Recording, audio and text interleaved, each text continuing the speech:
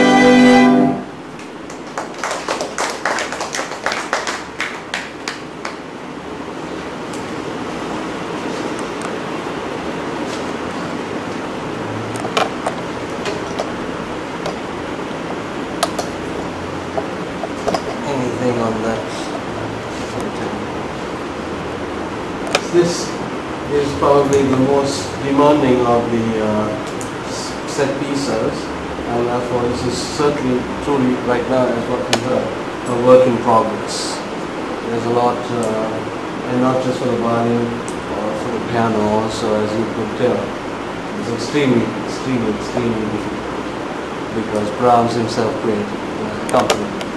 And Joachim was playing the violin, so uh, uh, these exams always have one, other than the Bachs, which are always difficult, they have one very, very tough hurdle.